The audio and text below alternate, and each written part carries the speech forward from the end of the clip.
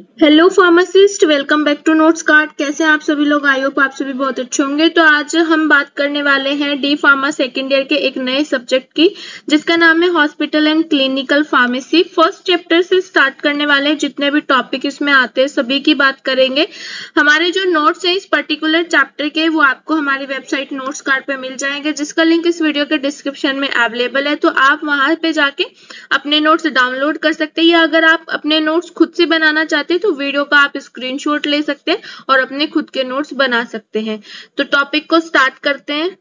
Topic को start करने से पहले एक बार हम सिलेबस की ओर देख लेते हैं कि इस वीडियो लेक्चर में हमें अपने कौन कौन से टॉपिक क्लियर करने हैं। तो हम जो फ़र्स्ट है, जो हमारा हॉस्पिटल एंड क्लिनिकल फार्मेसी है, वो दो पार्ट्स में डिवाइड है। फ़र्स्ट हॉस्पिटल फार्मेसी और सेकंड हमारा है क्लिनिकल फार्मेसी ठीक है तो हॉस्पिटल फार्मेसी में हमें बात करनी है definition scope national and international scenario organisational structure professional responsibilities qualification experience requirement job specification workload requirement and inter professional relationship next हम बात करने वाले हैं good pharmacy practice GPP in hospitals. Next hospital pharmacy standard F I P Basel statement A H S P introduction to NABH एसिड्रेशन and role of pharmacist देखिए, ये जो particular subject है, ये आपका क्या है कि अगर आप एक बार अच्छे से समझ लेते हैं तो आप अपनी लैंग्वेज में भी लिख सकते हैं। ज़रूरी नहीं है कि जो यहाँ पे लैंग्वेज यूज़ की है, वही आप यूज़ करें। एक बार आपको ये पर्टिकुलर जो सब्जेक्ट है, जो टॉपिक है, वो समझ आ जाए तो आप अपनी लैंग्वेज में खुद से लिख सकते हैं। हॉस्पिटल एंड क्लिनिकल फार्मेसी जो सब्जेक्ट है, वो बहुत ईजी है बट अगर आपको अच्छे से समझ आता है, आ जाता है तो। सबसे पहले हम बात करने वाले हैं हॉस्पिटल एंड क्लिनिकल फार्मेसी में पार्ट फ़र्स्ट की, जिसमें हमें बात करनी है हॉस्पिटल। हॉस्पिटल एक ऐसी टर्म है, एक ऐसी जगह है, जहाँ पे आज के टाइम में हम सभी ने क्या किया है, सर्वे किया है, हम लोग गए भी होंगे, बट हमको इसको क्या करना है, एक प्रॉपर टर्म में लिखना है, एक प्रॉपर लैंग्वेज में लिखना है, ठीक है? तो हॉस्पिटल क्या है? हॉस्पिटल एक ऐसी जगह है, जहाँ पे क्या होता है, ट्रीटमेंट होता है, ठीक है? या फिर डायग्नोसिस होता है डिज़ीज़ का by the help of expert doctor यानी कि जो हॉस्पिटल्स होते हैं हॉस्पिटल में बहुत सारे आ, बहुत सारे आ, क्या होते हैं एम्प्लॉयज़ होते हैं जैसे कि डॉक्टर हो गया नर्स हो गया है कंपाउंडर हो गया फार्मासिस्ट हो गया। तो हॉस्पिटल क्या होता है एक ऐसी जगह है जहाँ पे क्या होता है पेशेंट का ट्रीटमेंट होता है। पेशेंट को अगर कोई भी बीमारी होती है तो उसको इलाज कर, कराते हैं with the help of doctor ठीक है। तो हॉस्पिटल क्या है? एक ऑर्गेनाइजेशन है। देखिए ऑर्गेनाइजेशन क्यों बोला गया क्योंकि खाली डॉक्टर्स अगर इसमें टर्म आती है तो डॉक्टर एक डॉक्टर से पूरा ऑर्गेनाइजेशन नहीं बनता है। ठीक है? जैसे अगर सिंपल सी बात की जाए जैसे कॉलेज में भी क्या होता है? कॉलेज में भी आ, बहुत सारे क्या होते हैं? डिपार्टमेंट्स होते हैं। उनको मिला के क्या बनता है? एक पूरा का पूरा ऑर्गेनाइजेशन बनता है। ऐसे ही क्या होता है? हॉस्पिटल में भी डॉक्टर्स अगर खाली डॉक्टर हैं तो आप उसको हॉस्पिटल्स नहीं बोल सकते या फिर आप उसको ऑर्गेनाइजेशन नहीं बोलोगे। ऑर्गेनाइजेशन वो होते हैं जहाँ पे पेशेंट हो डॉक्टर हो फार्मासिस्ट हो नर्स हो, यानी कि अलग अलग डिपार्टमेंट हो, उसको हम क्या बोलेंगे? ऑर्गेनाइजेशन। तो हॉस्पिटल क्या है? एक ऑर्गेनाइजेशन है जो मेनली एक पर्टिकुलर क्या है? साइंटिफिक स्पेशलाइज्ड इक्विपमेंट जहाँ पे हो या फिर जहाँ पे क्या है कि पर्टिकुलर जो टीम है वो ट्रेंड हो और अच्छे से क्या करे अपने फ़ंक्शंस को रेगुलेट करे। ठीक है? हॉस्पिटल्स जो वर्ड है वो सबसे इम्पोर्टेंट है। कहाँ से आया था? लैटिन वर्ड से आया था जिसका आ, जिसका जो मीनिंग है वो क्या है? हॉप्स के वर्ड से आया था ये। ठीक है? जिसका मतलब क्या होता है? होस्ट या फिर गेस्ट या फिर होटल ठीक है? हॉस्पिटल्स में भी क्या होते हैं? जो बीमार लोग होते हैं, जो बीमारी से जूझ रहे हैं, वो लोग होते हैं, वो क्या करते हैं? वहाँ पे आते हैं, अपना ट्रीटमेंट करवाते हैं स्टे करते हैं और चले जाते हैं। बट उसमें हॉस्पिटल्स का काम क्या होता है कि वो क्या करे? उनको host as a guest as a hotel की तरह वो क्या करे? ट्रीट करे, उनका ट्रीटमेंट करे, उनको डायग्नोसिस करे, जो मेडिसिन उनको देनी है वो दे। तो ये क्या है? हॉस्पिटल जो वर्ड है वो कहाँ से आया था? लैटिन वर्ड से आया था, जिसका फ़र्स्ट मीनिंग क्या होता है? हॉप्स ठीक है हॉप्स का क्या मतलब है यहाँ पे? होस्ट गेस्ट या फिर होटल उसके बाद फिर एक पर्टिकुलर क्या है? कुछ ऐसे वर्ड्स भी आया था हॉस्पिटल्स के लिए। ठीक है हॉस्पिटम हॉस्पिटम का क्या मतलब होता है? ठीक है, या तो आप इसको क्या बोलते हो? रेस्ट हाउस बोल सकते हो, क्योंकि डेफिनेटली सी बातें देखिए जो पेशेंट होते हैं, उनके लिए ये रेस्ट हाउस ही होता है। ठीक है ट्रैवलर्स या फिर नाइट शेल्टर बोल सकते हो, या फिर हॉस्पिटैलिटी बोल सकते हो गेस्ट के लिए। हॉस्पिटैलिटी का मतलब होता है कि अगर हमारे ऑर्गेनाइजेशन में कोई गेस्ट आता है, कोई बाहर से मेंबर आते हैं, कोई पर्सन आते हैं, और हम उनके क्या करते हैं, एक देख रेख करते हैं, ठीक है, उनके खाने पीने का ध्यान रखना। तो डेफिनेटली सी बात है हॉस्पिटल्स में आप क्या करोगे मेडिसिन का ध्यान रखोगे, उसके कंफर्ट का ध्यान रखोगे, ठीक है। तो वो सारी की सारी चीज़ें किसमें आती है हॉस्पिटैलिटी में आती हैं। यानी कि हॉस्पिटल्स क्या है? एक काफ़ी बड़ा ऑर्गेनाइजेशन होता है जो बहुत सारे डिपार्टमेंट से मिलके बना होता है। इसमें मेनली क्या होता है? पेशेंट आते हैं, अपना ट्रीटमेंट कराते हैं डायग्नोस कराते हैं by expert doctor pharmacist nurse सारे इसमें इंक्लूडेड रहते हैं। ऐसा नहीं है कि सिर्फ़ डॉक्टर डॉक्टर रहते हैं। एक पूरी टीम रहती है जो पहले से ही क्या होती है ट्रेंड होती है, पहले से ही उनको सारी चीज़ें पता होती हैं, कैसे, किसका इलाज करना है। ठीक है, और ये क्या, कहाँ से आया था? लेटिन वर्ड से आया था, जिसका फ़र्स्ट मीनिंग क्या होता है? हॉप्स होता है। ठीक है, एक अदर वर्ड से भी इसको डिराइव्ड किया गया था, जैसे कि हॉस्पिटल ठीक है, जिसका मतलब क्या होता है? रेस्ट हाउस या फिर ट्रैवलर या फिर नाइट शेल्टर ठीक है, या फिर आप इसको क्या बोल सकते हो? हॉस्पिटैलिटी बोल सकते हो। नेक्स्ट हम बात करने वाले हैं फ़ंक्शन ऑफ़ हॉस्पिटल ठीक है? तो डेफिनेटली सी बातें हैं फ़ंक्शंस क्या होते हैं हॉस्पिटल्स के? ये तो बहुत सारी कॉमन सी चीज़ें हैं, जो आपको पता भी होगी बट एक प्रॉपर लैंग्वेज में हम इसको कैसे मेंटेन करेंगे, वो पढ़ लेते हैं। ठीक है?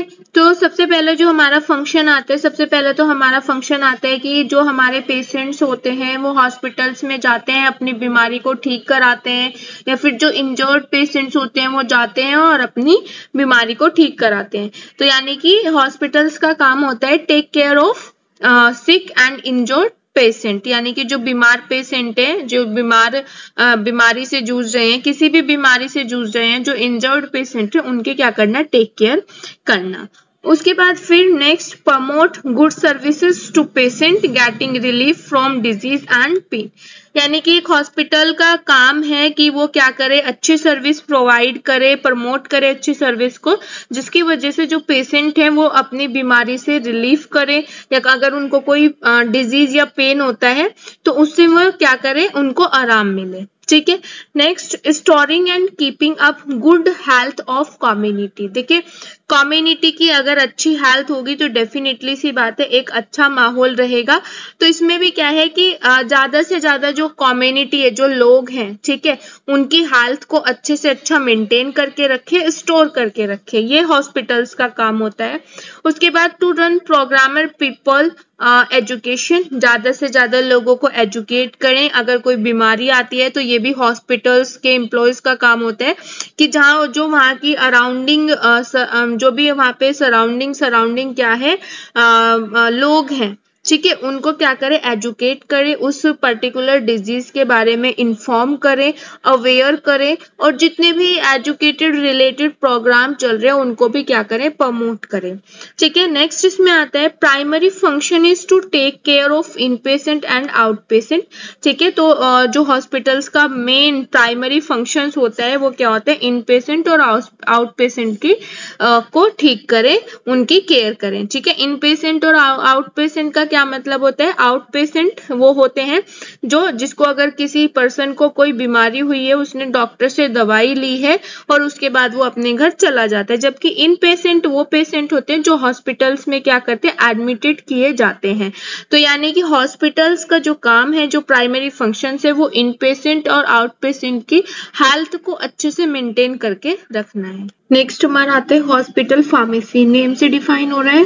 फार्मेसी का मतलब क्या होता है? जहाँ पे हमारा जो मेडिसिन है वो रखी जाती हैं स्टोर की जाती हैं. ठीक है? वहाँ पे क्या होता है? फार्मासिस्ट होते हैं जो उनको पेशेंट को देता है. और ये भी बताते हैं कि आपको किस टाइम कौन सी मेडिसिन को यूज़ करना है. ठीक है? तो आपको पता होगा जनरल क्योंकि आप सेकेंड ईयर के स्टूडेंट हैं, कि जो हमारी फार्मेसी लैंग्वेज होते हैं, उसमें मेडिसिन को ड्रग बोला जाता है। तो जितना भी ड्रग हमारी बनाने से लेके, बनाने से लेके मैन्युफैक्चरिंग से लेके मार्केट में आने तक, और उसके बाद वो मेडिकल स्टोर पे या किसी अदर फार्मेसी पे जाने तक, ठीक है, और उसके बाद वो कहा जाती है पेशेंट्स के पास जाती है, वो सारा का सारा किसमें इंक्लूड होता है? फार्मेसी में इंक्लूड होता है। अब हॉस्पिटल फार्मेसी यानी कि हॉस्पिटल से जो रिलेट करती है फार्मेसी जहाँ पे मेडिसिन दी जाती है, ठीक है, जहाँ पे कंपाउंडिंग होती है, जहाँ पे स्टोरिंग होती है, वो सारा किसमें आता है? हॉस्पिटल फार्मेसी यहाँ पे हम मेडिसिन को मैन्युफैक्चर करने की बात नहीं करेंगे, क्योंकि जो मैन्युफैक्चर होते हैं, वो फार्मेसी कंपनी में होते हैं। जब जो मेडिसिन बन जाती है मार्केट से, वो कहाँ पे आ जाते हैं? फार्मेसी में आ जाते हैं। हमें उस कंडीशन की इसमें बात करनी है, ठीक है? तो जो हॉस्पिटल फार्मेसी होता है, ये भी क्या है? हेल्थ केयर सर्विसेज़ का एक पार्ट है, जिसमें मेनली आर्ट प्रैक्टिस होती है, और ये एक टाइप का प्रोफेशन है, जिसमें स्टोर से लेके, यानी प्रिपेयरिंग स्टोरिंग से लेके किसी भी मेडिसिन की, किसी भी ड्रग की डिस्पेंसिंग तक ये किसमें क्या रहता है? इन्वॉल्वमेंट रहता है इंक्लूडिंग रहता है। ठीक है तो फार्मेसी में प्रिपेयरिंग से लेके स्टोरिंग से लेके, और डिस्पेंसिंग तक का इंक्लूड ये रहता है। ठीक है यानी कि या फिर आप इसको बोल सकते हो कि जो हॉस्पिटल फार्मेसी होता है, वो क्या है? एक एक पर्टिकुलर सेंटर है मेडिकल डिवाइस है, जो किसके थ्रू होता है? स्टोर होता है डिस्पेंसिंग होता है बट किसके थ्रू होता है? हेल्थ केयर प्रोफेशनल्स के थ्रू होता है। ठीक है? हेल्थ केयर प्रोफेशनल्स के थ्रू ही क्यों होता है? पेशेंट की सेफ्टी के लिए, उनकी सेफ्टी के लिए इफ़ेक्टिव यूज़ के लिए, ठीक है? इफिशियंट यूज़ के लिए ये इसमें होता है।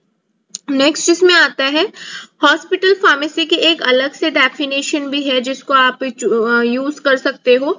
हॉस्पिटल फार्मेसी जो होता है, एक फार्मेसी का फ़ील्ड है, ठीक है, जिसमें मेनली क्या होते हैं, बहुत सारे मेडिकल सेंटर इंक्लूड होते हैं। जैसे कि हॉस्पिटल में भी हो सकता है hospital pharmacy out patient clinic भी हो सकते हैं, जैसे कि जो बाहर मार्केट में मेडिकल स्टोर खुले रहते हैं, या फिर ड्रग डिस्पेंसिव फैसिलिटी भी हो सकती है। पॉइजन कंट्रोल सेंटर भी हो सकता है, वहाँ पे भी ये हो सकता है फार्मेसी ड्रग इंफॉर्मेशन सेंटर में भी हो सकता है या फिर रेजिडेंशियल केयर फैसिलिटी भी चूज़ हो सकती है। यानी कि ये बहुत सारे सेंटर्स हैं जहाँ पे मेडिसिन रखी जा सकती हैं और जहाँ पे जो मेडिसिन से जो ड्रग है, वो स्टोर की जाती है पेशेंट को दी जाती उसको हम बोलते हैं फार्मेसी ठीक है? तो आप इसमें अपनी लैंग्वेज में लिख सकते हैं, जैसे भी आपको सुटेबल लगे, बस आपको समझ में आना चाहिए। ये जो पर्टिकुलर प्रोफेशन है ठीक है, ये जो पर्टिकुलर प्रोफेशन है, ये मेनली क्या है मेडिसिन से रिलेटेड है। ठीक है, इसमें हमें डॉक्टर से कोई मतलब नहीं होता है, इसमें हमें क्या है मेडिसिन डॉक्टर का काम होता है सिर्फ़ और सिर्फ़ क्या प्रिस्क्रिप्शन करना। आप अगर नॉर्मल में जाते भी हो, आपने देखा भी होगा हॉस्पिटल्स में, कि मेनली क्या होता है, आप अपनी बीमारी डॉक्टर को बताते हो डॉक्टर सिर्फ़ और सिर्फ़ क्या करता है प्रिस्क्रिप्शन लिख के देता है। उसके बाद आप मेडिकल यानी कि उसके बाद आप फार्मेसी पे जाते हो, वहाँ पे जो फार्मासिस्ट होता है ऑन ड्यूटी वो आप आपको क्या करता है? जो भी डॉक्टर ने प्रिस्क्रिप्शन लिखा है उन मेडिसिन को देता है। ठीक है उसके बाद आपको बताता है कि ये किस टाइप से आपको यूज़ करनी है। और डिस्पेंसिंग का मतलब ही यही होता है कि मेडिसिन को बताना कि, कि कौन सी मेडिसिन आपको मॉर्निंग में लेनी है इवनिंग में लेनी है या फिर नाइट में लेनी है और कितनी क्वांटिटी में लेनी है। ये सारी की सारी चीज़ें कौन करता है? फार्मासिस्ट ही करता है। तो यानी कि आप कह सकते हैं कि जितना इंपॉर्टेंट रोल एक पेशेंट के लिए डॉक्टर का होता है उतना उतना ही जो इम्पोर्टेंट रोल है वो एक फार्मासिस्ट का भी होता है। ठीक है? तो ये जो एक पर्टिकुलर प्रोफेशन है, जिसमें क्या होता है mainly choosing preparing storing compounding and dispensing medicine होती है। यानी कि जो हमारा हॉस्पिटल फार्मेसी है, या फिर आप बोल सकते हो कि जो हमारा फार्मेसी प्रोफेशन है, इसमें प्रिपेयर से लेके और जो हमारा मेडिसिन है, वो हमारे पेशेंट तक का जाने तक पेशेंट के पास जाने तक का जो सफ़र होते हैं, जो मोमेंट होते हैं, जो प्रोसेस होते हैं, वो सब किस में इंक्लूड रहता है फार्मेसी में इंक्लूड रहता है। ठीक है, ये आपको इसमें ध्यान रखना है। चूजिंग से लेके चूज़ करेंगे, क्योंकि हर हर बीमारी के लिए हर मेडिसिन अलग अलग होती हैं। चूज़ से लेके प्रिपेयर से लेके स्टोर से लेके कंपाउंडिंग से लेके डिस्पेंसिंग तक का जितना भी प्रोसेस होता है वो इसमें इंक्लूड रहता है, ठीक है मेनली उसके बाद another important area is to provision of advice to both patient and other health professionals about the safe and effective use of medicine definitely सी बात है, जैसे मैंने अभी बताया कि जो फार्मासिस्ट का रोल होता है, वो भी अपने आप में बहुत ज़्यादा इंपॉर्टेंट होता है, ठीक है? तो ये चाहे आउट पेशेंट है, चाहे इन पेशेंट है, दोनों के लिए क्या होता है, एक बहुत ज़्यादा इंपॉर्टेंट एरिया होता है, ठीक है? उनको पर्टिकुलर उनकी जो सेफ्टी है, उनका जो यूज़ है इफ़ेक्टिव यूज़ है मेडिसिन का, वो डिपेंड करता है हेल्थ प्रोफेशनल्स पे। तो यानी कि जितने भी हमारे हेल्थ प्रोफेशनल्स होते हैं, वो पेशेंट के सेफ्टी मेडिसिन के इफ़ेक्टिव यूज़ पे क्या करते हैं, ज़्यादा काम करते हैं। ठीक है? तो जो भी हम मेडिसिन देते हैं, वो हम क्या करते हैं डिज़ीज़ के अकॉर्डिंग देते हैं और जितने भी हमारे हेल्थ प्रोफेशनल्स होते हैं, वो पेशेंट की सेफ्टी को ध्यान में रखते हुए जल्दी से जल्दी अच्छे से उनका जो पर्टिकुलर इफ़ेक्ट है, वो जल्दी सो हो, ठीक है? उनकी जो बीमारी है, वो जल्दी से खत्म हो।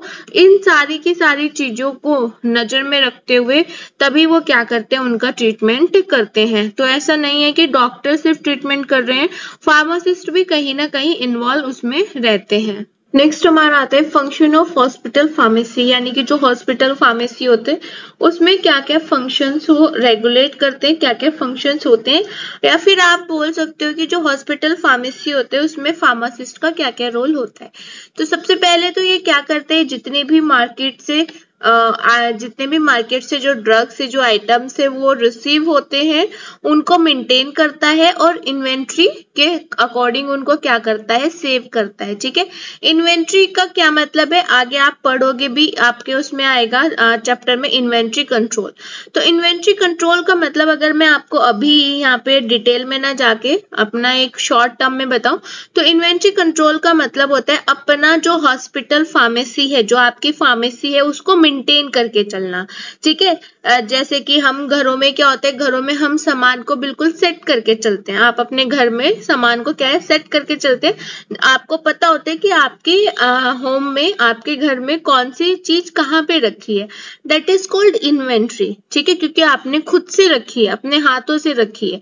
सेम ऐसे ही होते हैं कि जितने भी जितने भी ड्रग्स जितने भी आइटम्स फार्मेसी में रिसीव होते हैं, उनको मेंटेन करके रखे रखे एज ए इन्वेंट्री कंट्रोल ठीक है? उसके बाद सेकंड इसमें आता है डेफिनेटली सी बात। है देखिए, इसमें मेंशन है कि नार्कोटिक ड्रग और अल्कोहल जितने भी आते हैं आपके फार्मेसी में उनका डाटा आप रिसीविंग का भी और इश्यू का भी रिसीव जितने आपको हुए, उनका भी डाटा मेंटेन करके रखना है और जितने आपने इश्यू किए, उनका भी डाटा मेंटेन करना होता है।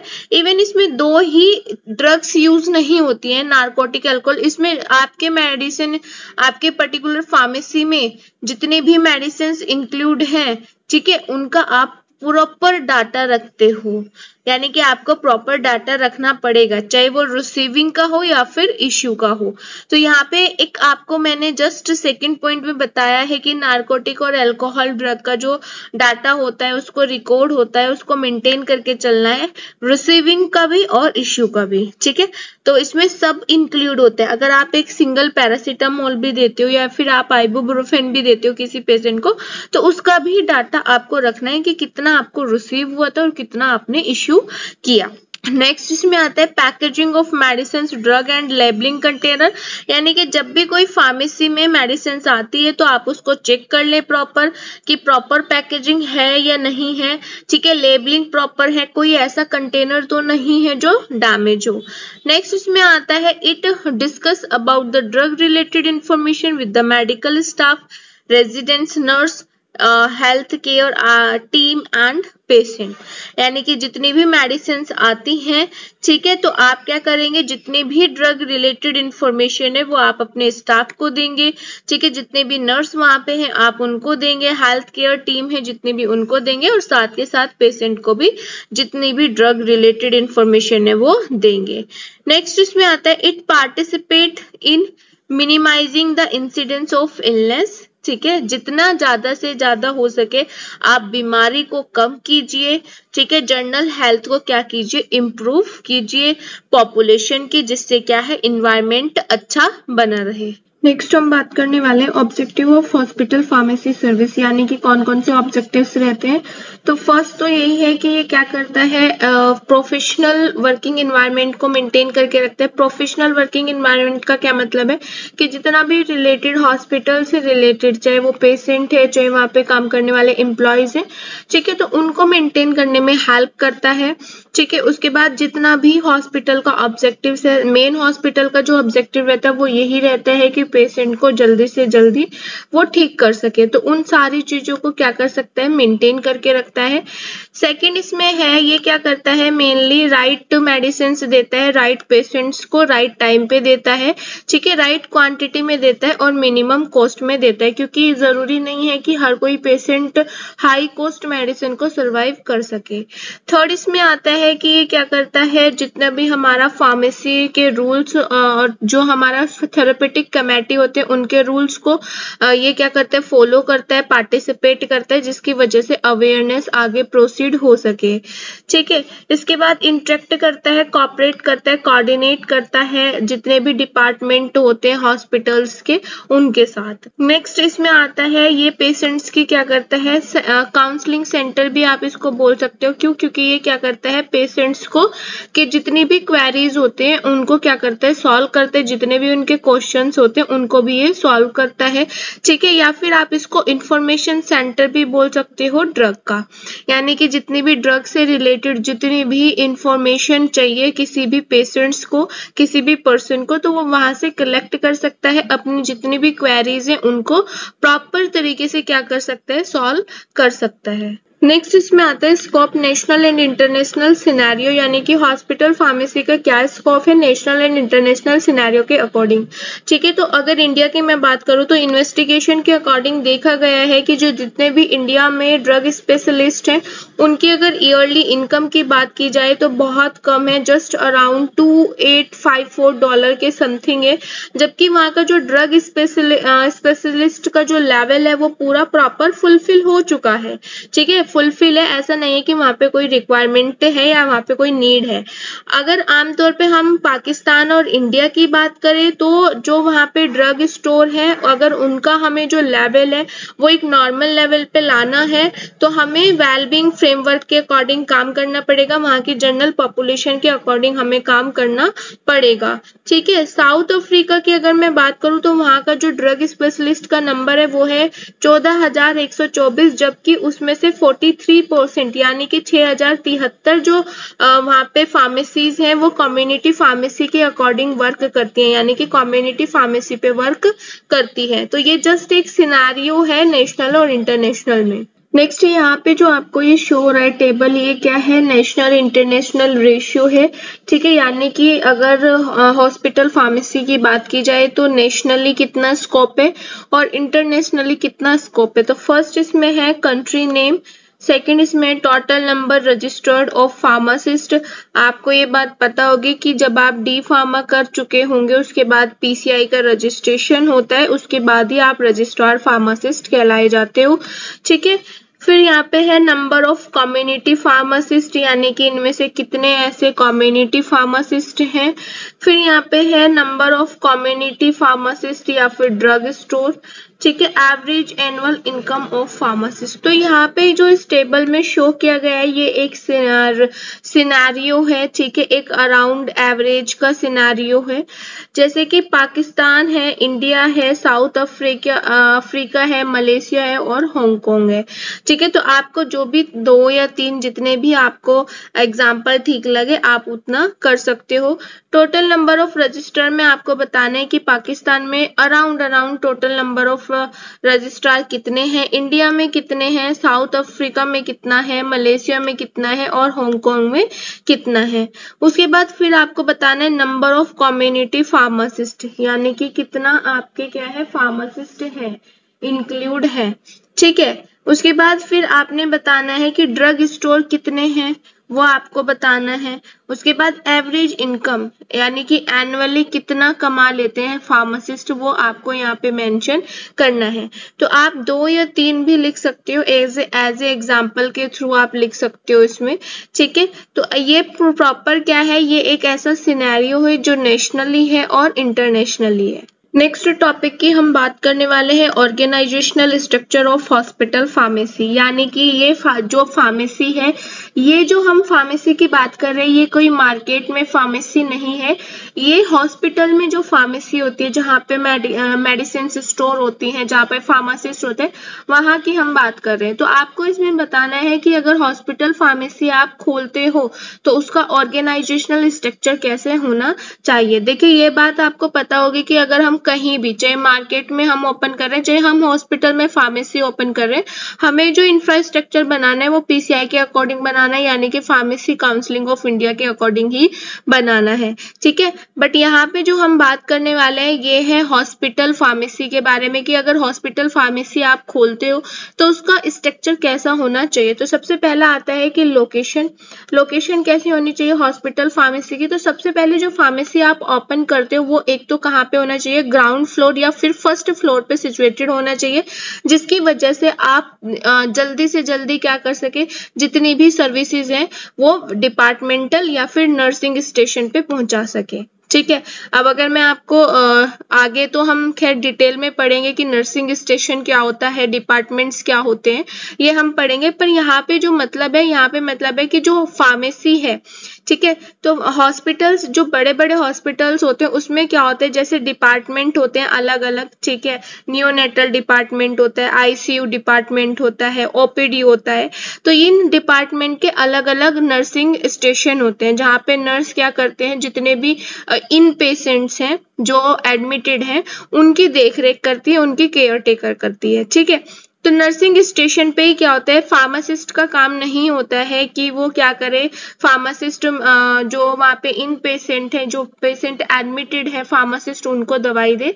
तो वो क्या करते हैं? नर्सिंग स्टेशन पे जितनी भी रिक्वायरमेंट होती है दवाई की, वो वहाँ पे उनको प्रोवाइड कराते हैं डिपार्टमेंट वाइज और उसके बाद नर्स क्या करती है? पेशेंट्स को देती है। तो ये एक प्रोसीजर चलता है। तो आपका जो फार्मेसी होना चाहिए हॉस्पिटल्स में, वो ऐसी जगह होना चाहिए चाहिए, जो या तो ग्राउंड फ्लोर पे हो या फिर फ़र्स्ट फ्लोर पे हो, जो जल्दी से जल्दी क्या कर सके, जितनी भी सर्विसेज़ हैं, जितना भी मेडिसिन उनको वहाँ पे पहुंचाना है, वो नर्सिंग स्टेशन पे या फिर डिपार्टमेंट में पहुँचा सके।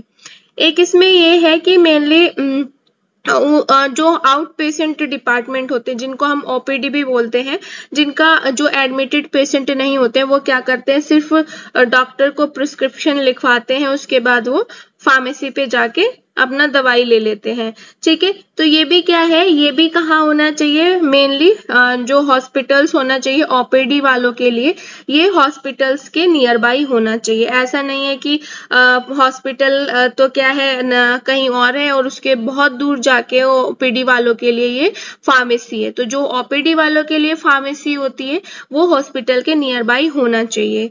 ठीक है? उसके बाद मेनली जितने भी हमारे ये है layout out of floor pharmacies है, ठीक है? इसमें मेनली क्या होना चाहिए? ज़्यादा से ज़्यादा वहाँ पे फार्मासिस्ट इंक्लूड होना चाहिए, ठीक है? और मटेरियल वहाँ पे होना चाहिए। ऐसा नहीं है। आपको इसमें क्या है कि अगर आप फार्मेसी ओपन कर रहे हो हॉस्पिटल में तो ऐसा नहीं है कि किसी पेशेंट्स को हॉस्पिटल मेडिसिन की ज़रूरत थी और उसे प्रॉपर टाइम पे मेडिसिन नहीं मिली, या फिर वहाँ पे कोई फार्मासिस्ट अवेलेबल नहीं था। तो आपको एक ऐसा कंटिन्यूस फ्लो बनाना है जिसमें फार्मासिस्ट भी रहे और जिसमें प्रॉपर मेडिसिन भी रहे। तो जब भी किसी पेशेंट्स को अगर ज़रूरत पड़ती है मेडिसिन की तो वो प्रॉपर तरीके से उसे मेंटेन कर सके। लोकेशन के बाद नेक्स्ट हमारा आता है लेआउट ऑफ़ हॉस्पिटल फार्मेसी देखिए वैसे तो ये जो सारी चीज़ें होती है पीसीआई के अकॉर्डिंग होती है। यानी कि पीसीआई के फिनोमिना में जितना भी लेआउट लिखा है उसी के अकॉर्डिंग आप फार्मेसी बना सकते हैं। ठीक है तो वही हमें यहाँ पे बात करनी है। तो जो डिज़ाइन और कंस्ट्रक्शन होता है हॉस्पिटल फार्मेसी का वो ऐसा होना चाहिए जो आ, जितने भी उसके फंक्शनैलिटी है वो कंसिडर हो जाए। जैसे कि हॉस्पिटल फार्मेसी में मेनली क्या होना चाहिए नियर बाय होना चाहिए हॉस्पिटल्स के, ठीक है, जिससे कि वो प्रॉपर पेशेंट्स को मेडिसिन प्रोवाइड कर सके। तो यानी कि जो लेआउट होता है, जो डिज़ाइन होता है, जो कंस्ट्रक्शन होता है हॉस्पिटल फार्मेसी का, वो उसके फ़ंक्शन के ऊपर कंसिडर करता है। सेकेंड इसमें है जो लोकेशन होता है जो साइज़ होता है ठीक है वो मेनली क्या होना चाहिए? पर्सनल होना चाहिए पर्सनल सपोर्ट के अकॉर्डिंग होना चाहिए। इन्वेंट्री मूवमेंट यानी कि इन्वेंट्री मूवमेंट का मतलब होता है कि आपके आ, उसमें क्या चीज़ें रखी हैं कौन सी मेडिसिन रखी रखनी है ठीक है कौन सी मेडिसिन गई हैं परचेज हुई हैं इश्यू हुई है कौन सी मेडिसिन रिसीव हुई है वो सारी चीज़ें आपको मेंटेन करके चलना है ठीक है वर्क प्रोसेस और एक्टिविटीज़ को मेंटेन करके चलना है। उसके बाद जितना भी स्टोरेज होता है, जितना भी इक्विपमेंट होते हैं, वो मेनली फिक्स्ड होते हैं। डॉक्यूमेंट्स को स्टोर करके रखना है, ठीक है? बल्क सप्लाईज जितनी भी मेडिसिन कभी कभी क्या होता है मेडिसिन की बल्क सप्लाईज आती है तो आपके पास इतना स्पेस होना चाहिए आपके मेडिकल स्टोर में कि वो सारी की सारी सप्लाईज आ जाए, ठीक है?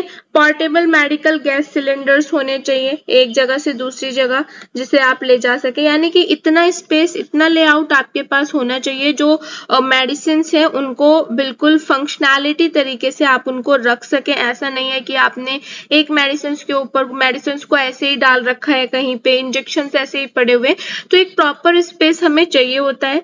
ठीक है, कितना स्पेस पीसीआई के अकॉर्डिंग होता है, ये मैं आपको आगे वाली स्लाइड में जब हम प्रॉपर लेआउट पढ़ेंगे हॉस्पिटल फार्मेसी का, उसमें मैं आपको बताऊँगी। यहाँ पे आपको जो शोर है, ये है हमारा मेडिकल स्टोर यानी कि हॉस्पिटल फार्मेसी का लेआउट ठीक है लेआउट का मतलब होता क्या है कि आप अगर हॉस्पिटल फार्मेसी ओपन करते हैं तो आपको किस टाइप से मेडिसिन को रखना चाहिए, एडजस्ट कैसे, किस टाइप से करना चाहिए? क्योंकि देखिए, फार्मेसी जो होती है, फार्मेसी में बहुत सारी दवाई होती है तो आपको पता होना चाहिए कि कौन सी दवाई कहाँ पे रखी जिससे आपको पेशेंट्स के सामने कंफर्ट फील हो कि आपने जैसे ही पेशेंट आया, आपने उसको फटाफट से अपनी जो भी उसको दवाई चाहिए थी, वो आपने उसको दे दी।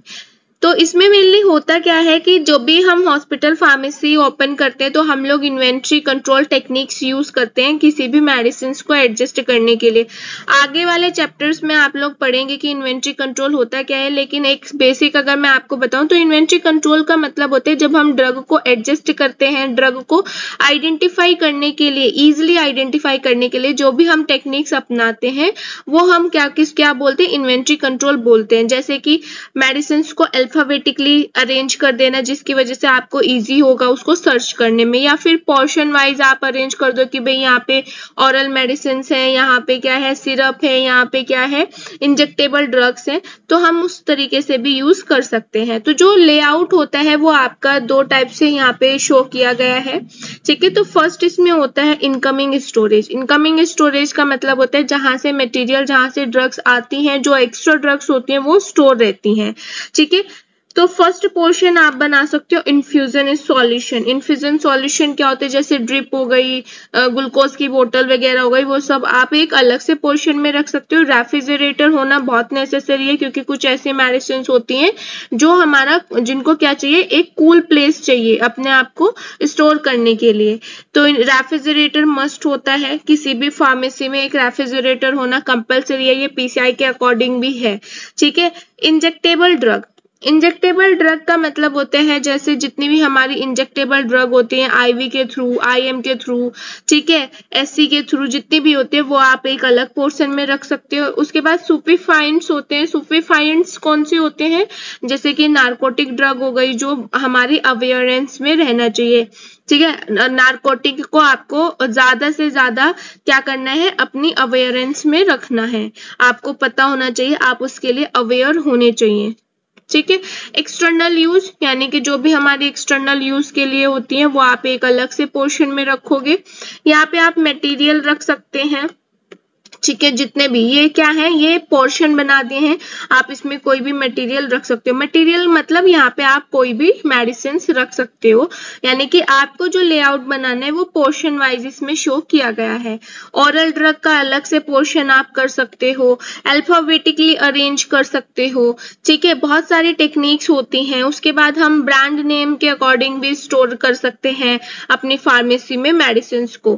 क्योंकि लेआउट का सिर्फ़ ये पर्पज था कि आपको इजीली तरीके से आइडेंटिफाई हो जाए कि कौन सी मेडिसिन कहाँ पे रखी है। क्योंकि जब पेशेंट्स आता है तो आप उसको फटाफट से वो मेडिसिन दे दो जो उनको चाहिए, जो उनके लिए नीड है।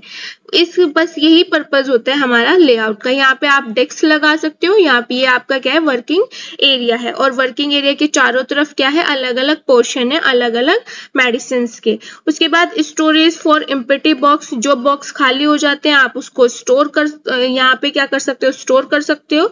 और स्टोर करने के बाद फिर उसको बाहर जितने भी खाली बॉक्सेस होते हैं, उनको बाहर निकाल सकते हो। उसके बाद सेकंड लेआउट भी आप यूज़ कर सकते हो। ज़रूरी नहीं है कि आपको यही वाला लेआउट यूज़ करना है।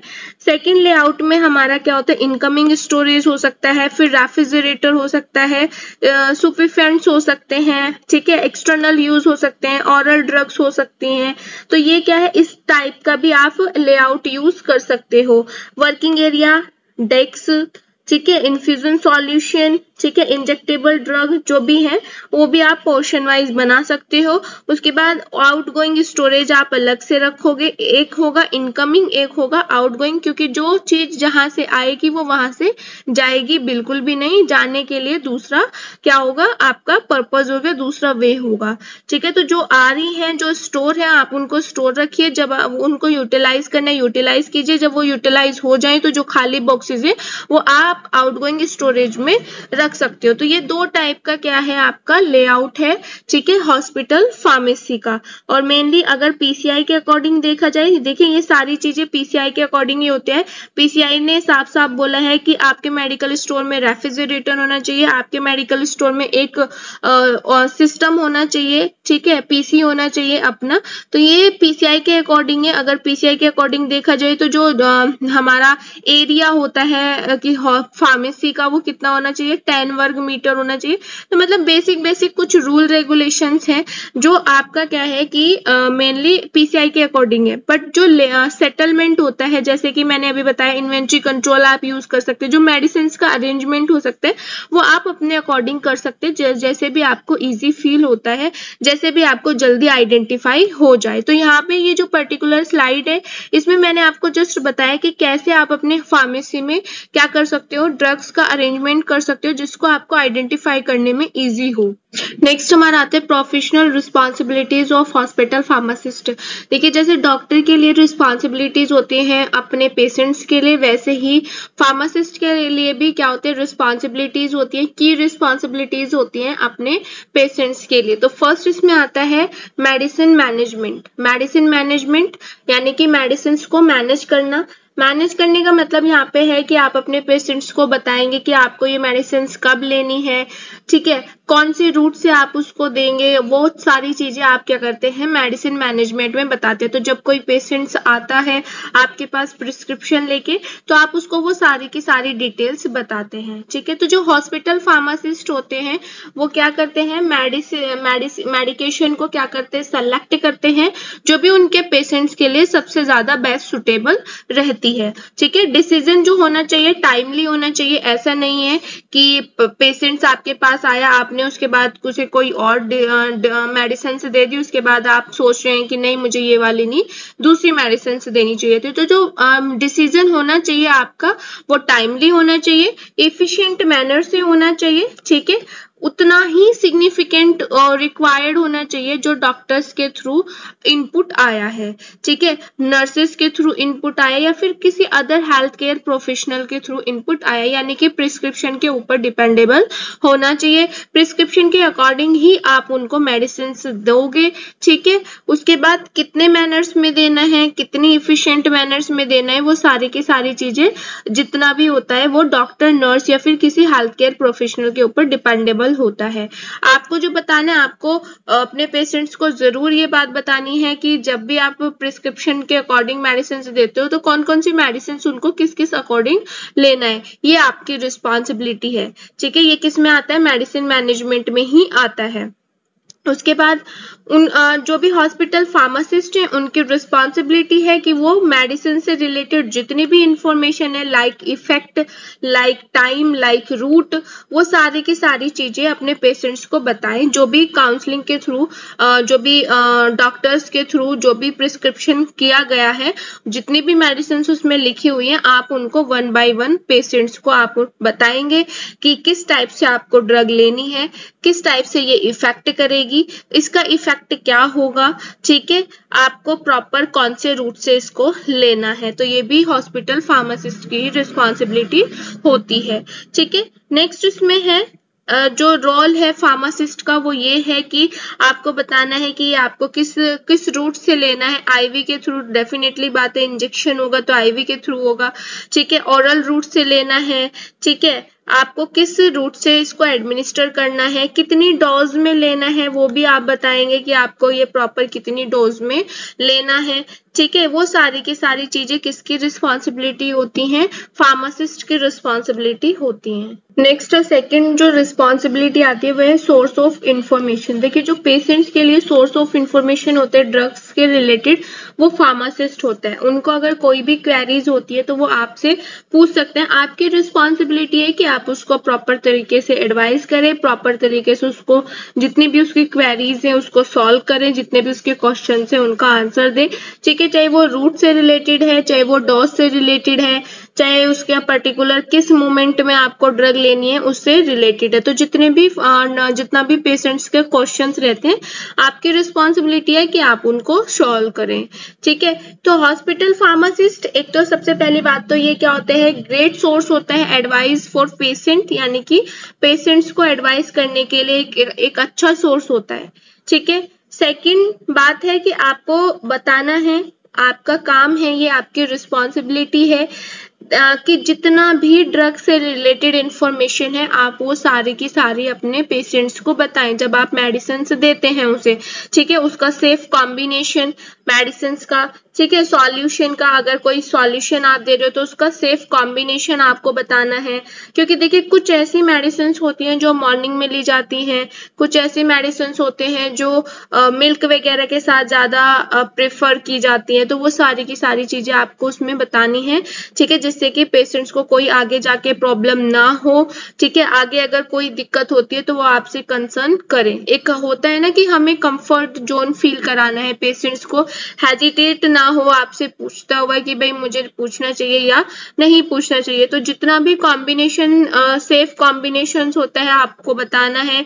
कुछ ऐसी मेडिसिन भी होती हैं जो हम, हमें क्या है कि खाने से एक घंटे पहले लेनी है, वो सारी की सारी चीज़ें आपको उसमें बतानी है, जिससे कि उनका जो पर्टिकुलर मेडिसिन का जो रूट है मेडिसिन का जो मूवमेंट है, वो सही से अपना काम कर सके।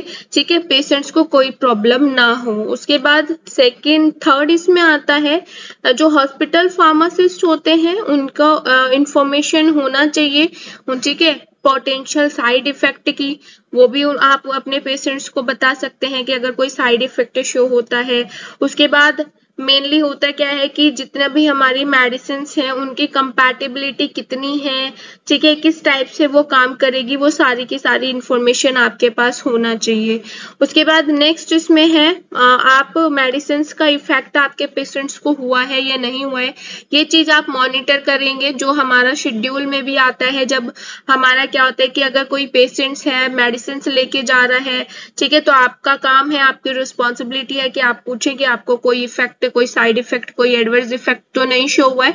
कितना इफ़ेक्ट शो हुआ है, वो सारी की सारी चीज़ें आप मॉनिटर करेंगे ड्यूरिंग द ट्रीटमेंट ठीक है? उसके बाद आपको इंश्योर करना है कि जो इफ़ेक्ट जो मेडिसिन दी हैं, उनका कोई इफ़ेक्ट सही से हो भी रहा है पॉजिटिवली वो सेफ़ है आपके पेशेंट्स के लिए, ठीक है? जो भी यूज़र हैं, जो भी मेडिसिन यूज़ कर रहे हैं, उनके लिए सेफ़ है, या फिर अदरवाइज़ वो उनको कोई इफ़ेक्ट शो नहीं कर रही है। तो अगर आप आपको लगता है कि उनको कोई इफ़ेक्ट शो नहीं कर रही है तो उसके बाद आप उनको, उनके ऊपर क्या करें एक्शन करें। या तो आप अपने डॉक्टर्स को बोले कंसर्न करें डॉक्टर प्रिस्क्रिप्शन चेंज करें। ठीक है, जितना भी मॉनिटरिंग है, वो आप अपने डॉक्टर आप अपने पेशेंट्स के थ्रू शॉर्ट आउट करें। तो ये भी क्या है, ये भी फार्मासिस्ट का काम है कि जितना भी इंफॉर्मेशन है ड्रग से रिलेटेड वो आप उनको प्रोवाइड करें। नेक्स्ट थर्ड इसमें रिस्पॉन्सिबिलिटीज में आता है मॉनिटरिंग ड्रग चार्ट ठीक है नेम से डिफाइन हो रहा है कि जो पेशेंट्स को ड्रग चार्ट दिया जाता है, आपकी रिस्पॉन्सिबिलिटी है कि आप उसको मॉनिटर करें कि जो ड्रग आपको, आपके पेशेंट्स को दी गई है, वो प्रॉपर चार्ट के अकॉर्डिंग प्रॉपर टाइमली उसको दी जा रही है या नहीं दी जा रही है। ठीक है तो ये सारी रिस्पॉन्सिबिलिटी किसकी होती है? फार्मासिस्ट की होती है। तो स्टार्ट कर लेते हैं। फ़र्स्ट पॉइंट में क्या है कि जो हॉस्पिटल फार्मासिस्ट होते हैं, ठीक है तो वो क्या करें? अपना जो उनका स्टाफ मेंबर है मेंबर जो है स्टाफ में फिजिशियंस हो गए नर्स हो गए डाइटिशियंस हो गए, ठीक है, या फिर कोई अदर इंफॉर्मेटिव सोर्स हो गए तो उनके साथ वो क्या करें क्लोजली वर्क करें, जिससे कि आपको पता चल सके, आप अंडरस्टैंड हो सके, आप अपनी पेशेंट्स के लिए क्लियर हो सके कि आपके पेशेंट्स को जो मेडिसिन है, वो प्रॉपर तरीके से दी जा रही है या फिर नहीं दी जा रही है। सेकेंड इसमें आता है कि जो ड्रग चार्ट प्रोवाइड किया जाता है, ये क्या होता है, एक वाइटल सोर्स होता है इंफॉर्मेशन का ड्रग चार्ट का मतलब यहाँ पे क्या है? कि कौन सी दवाई किस रूट से लेनी है किस टाइम पेशेंट्स को लेनी है। ठीक है? तो ये क्या होता है? वाइटल सोर्स होता है इंफॉर्मेशन का आ, किसी भी फार्मासिस्ट के लिए उनको पता चल जाता है कि कौन सी मेडिसिन कहाँ पे लेनी है। तो वो क्या करें? फार्मासी जो भी हमारे जितना भी पेशेंट्स हैं उनके साथ कम्युनिकेशन करें। हॉस्पिटल फार्मासिस्ट और जो अदर मेंबर हैं हॉस्पिटल्स के like physicians nurse dieticians medical staff उनके साथ कम्युनिकेशन करें। किस मेथड से जो मेडिसिन है वो यूज़ की जाएँगी, किस मेडिसिन को कौन से टाइम पे देना है, ये सारी की सारी चीज़ें इंश्योर कर ले, ठीक है? हॉस्पिटल फार्मासिस्ट जो जो भी ये चार्ट है जो भी अभी ड्रग चार्ट बनाया है पेशेंट्स के लिए, उनको मॉनिटर करें, ठीक है? इंश्योर करें कि उस पेशेंट्स को प्रॉपर टाइम पे करेक्ट मेडिकेशन मिल भी रही है या नहीं, और इसमें करेक्ट टाइम भी मेंशन होता है। यानी कि इसमें आपका काम है कि आप ये इंश्योर कर ले कि आपका जो पेशेंट पेशेंट्स है उसको करेक्ट मेडिसिन करेक्ट टाइम पे मिली है या नहीं। उसके बाद फिर नेक्स्ट इसमें आता है आ, जितना भी हमारे मेडिकेशंस होती हैं ठीक है, जितने भी हमारे पेशेंट्स को मेडिसिन रिक्वायर्ड होती हैं, चाहे वो आपका टैबलेट हो, चाहे इंजेक्शन हो, चाहे ऑइंटमेंट हो, चाहे इनहेलर हो, ठीक है, उनके बारे में आपको प्रॉपर नॉलेज होना ज़रूरी है। ठीक है, जो भी आपके पेशेंट्स को दवाई दी जा रही है, चाहे वो किसी भी रूट की है, उनकी सारी इंफॉर्मेशन आपको होना ज़रूरी है। ठीक है, आपको पता होना चाहिए कि कौन सी मेडिसिन कैसे, कब और कौन से रूट से ली जा रही है देनी है। ठीक है, आगे चल के पेशेंट्स को ये सारी की सारी चीज़ें आपके और आपके मेडिकल स्टाफ के बीच में कम्युनिकेटेड होना चाहिए। नेक्स्ट रिस्पॉन्सिबिलिटी में आता है डिस्चार्जिंग पेशेंट यानी कि ऐसे पेशेंट्स जो हॉस्पिटल में एडमिट थी और उसके बाद वो क्या हो रहे हैं? अपना जब उनकी जो डिज़ीज़ है वो ठीक हो जा रही है तो वो डिस्चार्ज हो रहे हैं। तो उस कंडीशन में क्या होता है? फार्मासिस्ट का रोल क्या होता है? उनकी रिस्पॉन्सिबिलिटी क्या होती है? उसकी हम आज इसमें बात करने वाले हैं। ठीक है? तो discharging patient is another important role for of pharmacist hospital pharmacist और ये किसमें आता है? प्रोफेशनल रिस्पॉन्सिबिलिटीज में आता है कि जब भी कोई पेशेंट डिस्चार्ज होता है तो हॉस्पिटल फार्मासिस्ट की ड्यूटी है कि वो अपने पेशेंट्स को ट्रैक करे। ठीक है ट्रैक करने का मतलब ये है कि जैसे ही वो डिस्चार्ज होते तो उनके एक डिस्चार्ज समरी बनाए मेडिसिन से रिलेटेड उन्होंने कौन सी मेडिसिन ली थी, कब ली थी, आगे कौन सी मेडिसिन उनको लेनी है। अगर कोई मेडिसिन ऐसी है जिसको हटाना है तो रिमूव करना है तो वो रिमूव करें। तो यानी कि पूरी डिस्चार्ज समरी हॉस्पिटल फार्मासिस्ट के पास होनी चाहिए अपने पेशेंट्स की। और डिस्चार्ज समरी कब बनेगी, जब आप अपने पेशेंट्स को क्या करोगे ट्रैक करोगे उसकी मेडिसिन को आ, क्या करोगे उसके मेडिसिन को व्यू करोगे ठीक है? मेडिसिन को देखोगे कि कौन सी मेडिसिन कब ली गई है कौन सी मेडिसिन आगे हटाना है कौन सा मेडिसिन जो फिजिशियंस है उन्होंने हटाने के लिए बोली है कौन सी मेडिसिन आगे उनको देनी है ठीक है? ये सारी चीज़ें हम लोग इसमें करते हैं। उसके बाद फार्मासिस्ट जो होते हैं उनको, उनकी एक अनदर रिस्पॉन्सिबिलिटी होती है ड्यूटी चार्ज वो इंश्योर कर ले मेडिकेशन प्रिस्क्रिप्शन को, ठीक है, एक बार मैच कर ले। जो फिजिशियंस ने, जो डॉक्टर्स ने प्रिस्क्रिप्शन लिखा है, उसी के अकॉर्डिंग मेडिसिन हैं या नहीं, और उसके बाद एक डिस्चार्ज समरी मेंटेन कर सकते हैं, ठीक है। तो थर्ड इसमें आता है कि उनकी रिस्पॉन्सिबिलिटी होती है कि जितनी भी मेडिसिन करेक्ट मेडिसिन हैं या नहीं है ठीक है, जो जो डॉक्टर के थ्रू दी गई है प्रिस्क्रिप्शन उनके अकॉर्डिंग है या नहीं है, किस टाइप से उनको डिस्पेंस करना है, ठीक है, किस टाइप से करेक्ट मेडिसिन उनको लेनी है करेक्ट मेडिसिन है या फिर कोई अदर मेडिसिन तो नहीं है, क्योंकि जब डिस्चार्ज होता है, कोई भी पेशेंट तो कुछ मेडिसिन ऐड की जाती है, जबकि कुछ मेडिसिन को रिमूव किया जाता है कि अब आपको इनकी नीड नहीं है। तो फार्मासिस्ट की रिस्पॉन्सिबिलिटी बनती है कि वो उनके डिस्पेंसिंग की कंडीशंस को बताए, यानी कि किस अकॉर्डिंग उनको मेंटेन करना है, किस अकॉर्डिंग आगे उनको फॉरवर्ड करना है, और कोई गलत मेडिसिन तो उनके पास जा नहीं रही है। ये उसमें क्या होता है मेंटेन करना होता है। ठीक है? तो जो लास्ट स्टेज रह जाता है, ये लास्ट स्टेज है डिस्चार्जिंग पेशेंट्स का, और रिस्पॉन्सिबिलिटी जो होती है वो फार्मासिस्ट के डिस्चार्जिंग पेशेंट्स के साथ भी होती है। नेक्स्ट इसमें आते हैं क्वालिफिकेशन एंड एक्सपीरियंस रिक्वायर्ड यानी कि फार्मासिस्ट बनने के लिए क्या क्या क्वालिफिकेशन की ज़रूरत होती है और कितना एक्सपीरियंस रिक्वायर्ड होता है, ठीक है? तो जो हॉस्पिटल फार्मेसी का जो हेड होता है, उसके लिए आपको एटलीस्ट एम फार्मा फार्माकोलॉजी होना ज़रूरी है। क्लिनिकल फार्मासिस्ट के लिए एटलीस्ट आपको master degree in clinical pharmacology में होना ज़रूरी है। क्वालिटी कंट्रोल इन चार्ज के लिए आपके पास एम फार्मा फार्मास्यूटिकल केमिस्ट्री से होना ज़रूरी है। असिस्टेंट के लिए आपको एटलीस्ट बी फार्मा और डी फार्मा होना ज़रूरी है, ठीक है? हॉस्पिटल फार्मासिस्ट अगर आपको अपनी स्किल को इम्प्रूव करना है, जितने भी हमारे फार्मासिस्ट होते हैं तो उनको क्या है रोटेशनल रेगुलर रोटेशनल बेस्ड अपना क्या करना पड़ेगा ड्यूटी करना पड़ेगा। रोटेशनल का मतलब क्या है कि एक डिपार्टमेंट से दूसरे डिपार्टमेंट दूसरे डिपार्टमेंट से तीसरे डिपार्टमेंट तो इससे क्या होता है कि हमें आ, हमारी जो स्किल है वो इम्प्रूव होती है जो नॉलेज है वो इम्प्रूव होती है। ठीक है? रोटेशन हॉस्पिटल्स फार्मासिस्ट के लिए क्यों बेनिफिशियल है? क्योंकि ये डिफरेंट डिफरेंट डिपार्टमेंट में ऑपरेट करते हैं।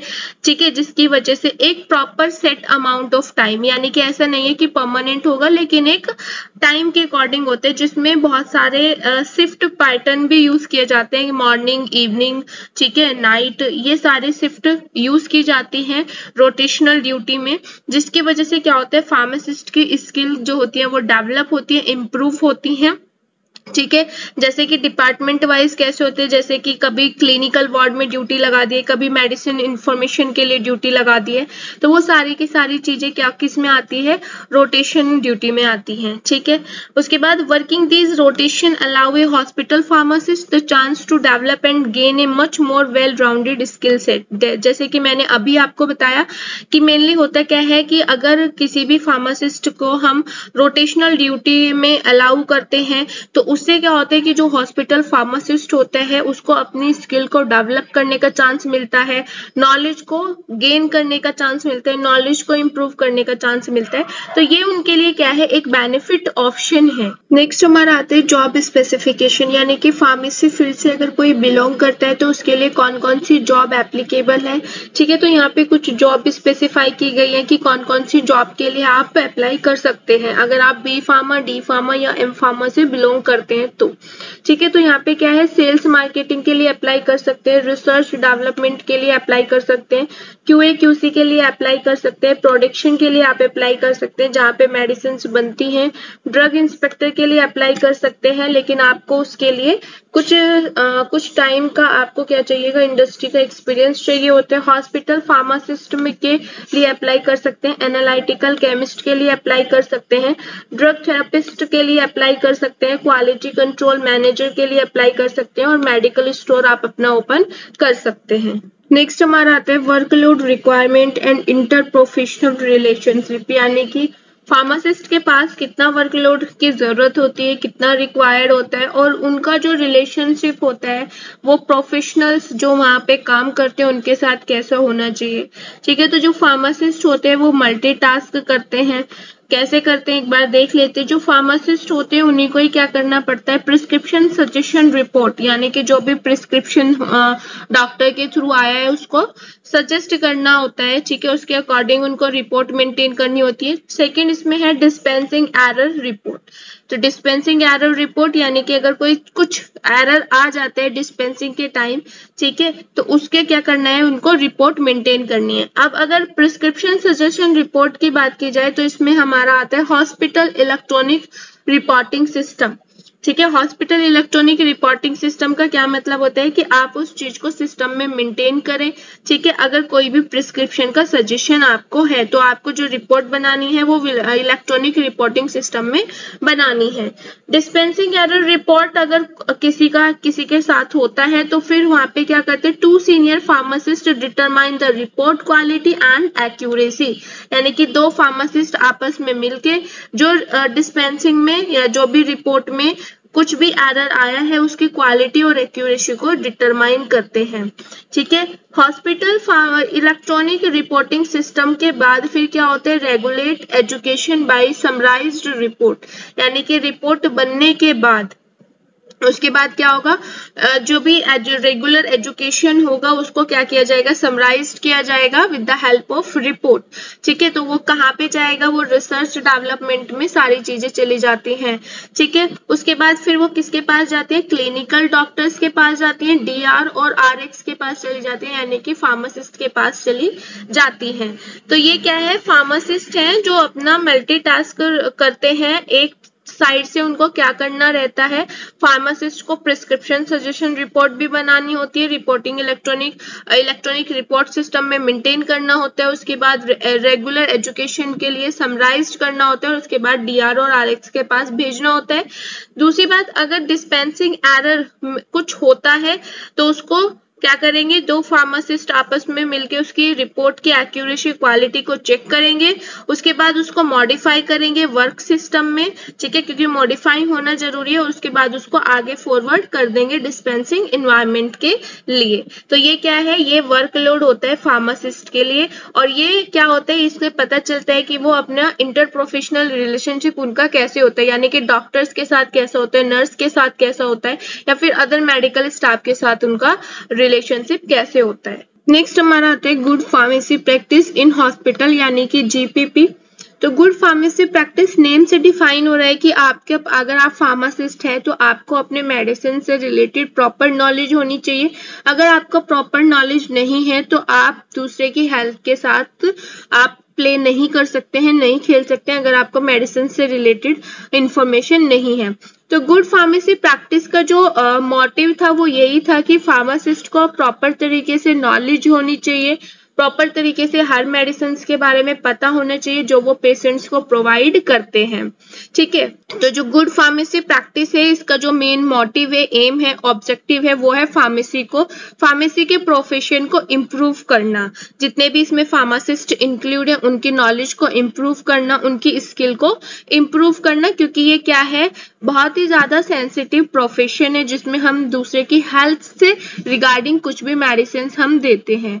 ठीक है? तो जो भी अगर आपको नहीं पता है तो सबसे पहले आप उसके लिए प्रैक्टिस करें, तब उसके बाद आप किसी भी पेशेंट्स के पे मेडिसिन अप्लाई कर सकते हैं। तो जो गुड फार्मेसी प्रैक्टिस का जो मोटिव था, वो यही था कि जो पेशेंट्स हैं, ठीक है वो क्या हो, ज़्यादा डू नो हार्म हार्म का मतलब क्या है यहाँ पे कि वो बिल्कुल भी हार्म ना हो, ठीक है? और जो आउटकम निकले मेडिसिन देने के बाद, वो अच्छा थेरेपेटिक आउटकम निकले, ठीक है? ज़्यादा से ज़्यादा आउटकम निकले। उसके बाद जो जीपीपी है, यानी कि गुड फार्मेसी प्रैक्टिस है, वो मेनली क्या है पर्टिकुलर उन फार्मासिस्ट के लिए है, जो क्या करते हैं पेशेंट्स को सर्विसेज़ प्रोवाइड करते हैं, ठीक है? तो अच्छी से अच्छी सर्विस प्रोवाइड करे, ये जीपीपी का एम था मोटिव था, ठीक है? और एविडेंस बेस्ड केयर हो, यानी कि ऐसा नहीं है कि आप, आपने बोल दिया कि नहीं, मैंने उसकी केयर पेशेंट्स की केयर किया मैंने उसको ये मेडिसिन दिए लेकिन उसमें कोई असर शो नहीं हुआ है। तो ऐसा नहीं होना चाहिए, जो भी आप केयर करते हैं, वो एविडेंस बेस्ड हो, ठीक है? ये क्या है? इसेंशियल फैक्टर है। तो फार्मासिस्ट को सपोर्ट करने के लिए और फार्मासिस्ट की प्रैक्टिस कराने के लिए ही गुड फार्मेसी प्रैक्टिस आया था जिसमें स्टेबलाइज्ड हुआ था जिसमें हमारा जो था नेशनल फ्रेमवर्क भी काम करता था। क्यों करता था? आ, क्योंकि उसको क्या है फार्मेसी को जो फार्मासिस्ट फार्मासिस्ट थे उनको इम्प्रूव करना था फार्मेसी को डेवलप करना था। तो यहाँ पे क्या हुआ गुड फार्मेसी प्रैक्टिस को इम्प्रूव करने के लिए कुछ क्वालिटी स्टैंडर्ड्स का यूज़ किया गया कुछ गाइडलाइंस का यूज़ किया गया जो आप आगे अभी पढ़ोगे, ठीक है? कुछ नेशनल फ्रेम्स यूज़ किए गए, जैसे गाइडलाइंस होती हैं, क्योंकि अगर गाइडलाइंस ना होती तो डेफिनेटली सी बात है, आज के टाइम में कोई भी किसी को भी मेडिसिन दे सकता था, बिना किसी नॉलेज के। तो जो हमारा गवर्नमेंट का, जो हमारे गाइडलाइंस का जो मेन एम था, वो था हमारा अच्छा से अच्छे फार्मेसी को इम्प्रूव कर सकते। ठीक है? तो इसमें मेनली क्या होता था? गुड फार्मेसी प्रैक्टिस में हमारा मेनली क्या आता है कि हम कैसे पेशेंट्स को अच्छे से इम्प्रूव कर सके, कैसे थेरेपेटिक जो आउटकम है, उसको अच्छे से मेंटेन कर सके। क्योंकि थेरेपेटिक आउटकम जितना जल्दी होगा, उतना हमारे लिए बेनिफिट होगा उतना जो पेशेंट्स है उसके लिए बेनिफिट्स होगा। तो जो गुड फार्मेसी प्रैक्टिस का मेन एम था वो यही था कि इसमें किसी की भी हेल्थ के साथ खेला ना जाए, कि सबकी हेल्थ को एक प्रॉपर क्या है प्रॉपर वे में रखा जाए। ठीक है, आप ऐसा नहीं है कि किसी को भी बोल देते हो कि नहीं, मुझे इसको पहले मेडिसिन देनी है। तो आपके लिए क्या है, अगर आप एक फार्मासिस्ट है तो आपके लिए सभी पेशेंट्स इक्वल होने चाहिए। ये गुड फार्मेसी प्रैक्टिस में आता है। है नेक्स्ट हमारा आता है hospital pharmacy standard F I P Basel statement and A H S T ठीक है? तो देखिए, होता क्या है मेनली जो हमारा पर्पस था वो था गुड फार्मेसी प्रैक्टिस यानी कि फार्मेसी प्रैक्टिस को अच्छे से अच्छा करे जिससे कि पेशेंट्स को एक अच्छा इन्वायरमेंट और जल्दी से जल्दी इम्प्रूव मिल सके। मेनली होता क्या था स्टार्टिंग में जब हम लोग एनिमल्स पे प्रैक्टिकल्स करते थे तो कभी कभी क्या होता था एनिमल्स पे भी डेथ हो जाती थी। हर, चाहे वो डॉक्टर है, चाहे वो फार्मासिस्ट है, उसके लिए कुछ स्टैंडर्ड्स कुछ रूल रेगुलेशंस हमेशा रहते हैं। तो मेन uh, पर्पज हमारा यही होता है कि हमें अगर काम करना है एज ए फार्मासिस्ट तो हमें रूल रेगुलेशन में ही काम करना पड़ेगा। क्योंकि देखिए मेडिकल फ़ील्ड जो होता है वो ऐसा फ़ील्ड है जिसमें हम किसी है कि हेल्थ के साथ एक्सपेरिमेंट करते हैं। ठीक है तो कहीं ऐसा ना हो कि आपके एक्सपेरिमेंट के चक्कर में क्या हो जाए पेशेंट्स की हालत खराब हो जाए या फिर उसकी डेथ हो जाए। तो मेनली पहले क्या होता था कि जब हम प्रैक्टिकल्स करते थे एनिमल्स पे, क्योंकि एनिमल्स पे प्रैक्टिकल करना भी ज़रूरी है, क्योंकि जब भी कोई न्यू ड्रग लॉन्च होती है तो सबसे पहले एनिमल्स पे उसको यूज़ किया जाता है एक्सपेरिमेंट किया जाता है। ठीक है, उसके बाद उसका कंक्लूजन निकाला जाता है, जिसमें एनिमल्स की क्या हो जाती थी डेथ हो जाती थी। देखिए वो भी क्या है एक एनिमल्स है एनिमल्स में भी क्या होता है जीवन होता है तो उनकी हेल्थ के साथ ना खेलते हुए एक कमेटी बनाई गई जिसमें आ, क्योंकि दोनों ही चीज़ें ज़रूरी है एक्सपेरिमेंट भी ज़रूरी है। अब अगर हम एक्सपेरिमेंट नहीं करेंगे तो न्यू न्यू मेडिसिन कैसे आएँगी? और हमें एनिमल्स के हेल्थ का भी देखना है कि कोई ऐसे ही बिना वजह ही किसी की हेल्थ के साथ ना खेले। ऐसा आपको प्रॉपर अगर आप एनिमल्स के साथ कोई प्रैक्टिकल करते हो तो एक्सपेरिमेंट करते हो तो आपको प्रॉपर नॉलेज उसकी होनी चाहिए। ऐसा नहीं है कि आपको प्रॉपर नॉलेज नहीं है जिसकी सजा वो एनिमल्स को भुगतनी पड़ी और एनिमल्स की डेथ हो गई। इसीलिए एक कमेटी प्रॉपर बनाई गई जिसमें अगर आप किसी एनिमल्स पे एक्सपेरिमेंट करते तो आपको उनकी क्या है, आपको उनका अथॉरिटी लेनी पड़ेगी आपको उनको पहले बताना होगा। ठीक है, उसके बाद आप जितना भी है, वो चीज़ें आप मेंशन करते हैं या फिर आप उस पर एक्सपेरिमेंट करते हैं। ठीक है तो आपको क्या है, पर परमिशन लेनी पड़ेगी कमेटी से। सेम ऐसे ही फार्मेसी प्रैक्टिस को डेवलप करने के लिए अच्छा बनाने के लिए कुछ कॉन्फ्रेंसेस हुई ठीक है, जिसमें सारी चीज़ों को देखा गया मेडिसिन से रिलेटेड पेशेंट से रिलेटेड प्रिस्क्रिप्शन से रिलेटेड डिस्ट्रीब्यूशन से रिलेटेड सारी चीज़ें, जितने भी चीज़ें थी, उनको सब देखा गया। तो जो F I P Basel statement है, ये क्या है? ये भी एक कॉन्फ्रेंस लॉन्च हुई थी। तो कॉन्फ्रेंस क्या होते हैं? बहुत सारे मेंबर्स बैठते हैं, आपस में डिस्कशन करते हैं और उसके बाद कोई कंक्लूजन निकालते हैं, जिसको हमें फॉलो करना होता है। ठीक है? जो फार्मासिस्ट के थ्रू फॉलो की जाती है। तो सेम ऐसे भी इसमें ये हॉस्पिटल फार्मेसी स्टैंडर्ड्स में एक ग्लोबल कॉन्फ्रेंस रखी गई थी। जिसमें हॉस्पिटल फार्मेसी के फ्यूचर के लिए डिस्कशन हुआ था। ठीक है, ये किसने होस्ट की थी? इंटरनेशनल फार्मास्यूटिकल फेडरेशन इसीलिए इसको F I P Basel statement भी बोला जाता है। बेसल स्टेटमेंट क्यों बोला जाता है? क्योंकि एफ़ आई पी के थ्रू जो कॉन्फ्रेंस हुई थी और उसके बाद जो कंक्लूजन निकला, वो पूरा का पूरा स्टेटमेंट आ जाता है और जिसको फार्मासिस्ट क्या करते हैं? एप्लीकेबल करते हैं। ठीक है, आप अगर फार्मासिस्ट है तो आपको उसको फॉलो करना होगा। ठीक है तो आप एक ग्लोबल कॉन्फ्रेंस हुई हॉस्पिटल फार्मेसी के फ्यूचर से रिलेटेड इंटरनेशनल फार्मास्यूटिकल फेडरेशन ने इसको होस्ट किया, ठीक है? इसमें hospital pharmacy section as part of 68 annual congress के थ्रू इंटरनेशनल फार्मास्यूटिकल फेडरेशन के थ्रू ये हुआ था। कब हुआ था? 30 और 31 अगस्त 2008 में हुआ था, ठीक है? टोटल 348 हॉस्पिटल फार्मासिस्ट इसमें रिप्रेजेंट हुए। 98 देशों में देशों के बीच ये हुई, आपस में बैठक हुई, ठीक है? उसके बाद जितना भी जितना भी मैटर था, जितना भी जितनी सारी चीज़ें थी, उन पे सब पे डिस्कशन हुआ सक्सेसफुली डेवलप्ड हुई, ठीक है? इनका जो मेन विजन था, वो यही था कि hospital pharmacy hospital practice pharmacy practice को कैसे इम्प्रूव किया जाए, ठीक है? उसको प्रॉपर कैसे अरेंज किया जाए ठीक है किसी के साथ गलत व्यवहार ना हो हॉस्पिटल फार्मेसी यानी कि गुड फार्मेसी में उसको कैसे कन्वर्ट किया जाए ये सारी चीज़ों पे डिस्कशन हुआ जो इसका मेन विजन था। ठीक है ये जो पर्टिकुलर कॉन्फ्रेंस हुई ये किसके थ्रू हुई थी? F I P F I P क्या है? इंटरनेशनल फार्मास्यूटिकल फेडरेशन के थ्रू ये हुई थी जिसमें uh, एक प्रॉपर रिव्यू लिटरेचर प्रिपेयर किया गया। सिक्स टॉपिक इसमें इंक्लूड थे ठीक है जिसमें सारे के सारे एरियाज़ के मेडिसिन के बारे में हॉस्पिटल्स के बारे में कवर किया गया। यानी कि इसमें किसी एक हॉस्पिटल्स के बारे में बात नहीं की सभी के हॉस्पिटल और सभी मेडिसिन के बारे में बात की गई।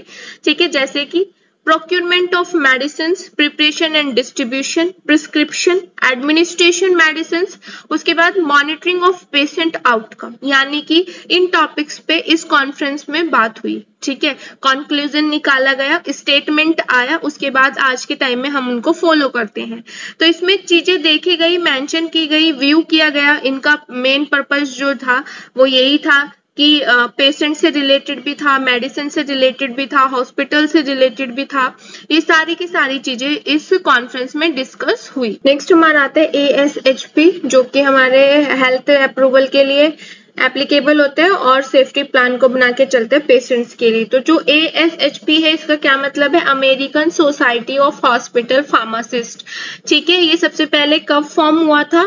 ट्वेंटी वन अगस्त 1942 में ये फॉर्म्ड हुआ था।